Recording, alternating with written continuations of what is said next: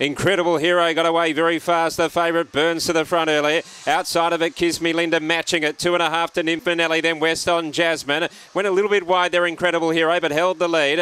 As uh, Jelena's Knight got into fourth, running home Gamely. Deep out West on Jasmine, Laptop Wizard and Nymphanelli, but Incredible Hero race clear. Out by three. Kiss Me Linda hasn't given up the chase. And then uh, Jelena's Knight, followed by Nymphanelli and West on Jasmine, but Incredible Hero is doing it well, racing away from Kiss Me Linda. Third home. Uh, Jelena's Knight, two and a half to Nymph Manelli, and then West on Jasmine. Well back, Laptop Wizard, and I'm a Fabio.